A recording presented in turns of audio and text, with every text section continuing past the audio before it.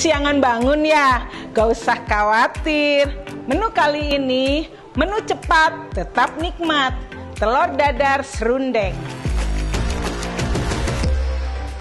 Telur dadar serundeng. Menu hemat, masak cepat, proteinnya hebat, mampu meningkatkan daya tahan tubuh di masa pandemi. Dan puasa pun jadi kuat. Pastikan telurnya segar, baik, dan bersih.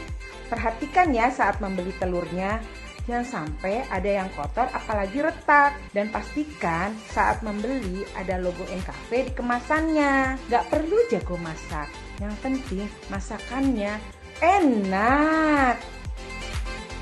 Telur dadar serundeng istimewa memang untuk Anda.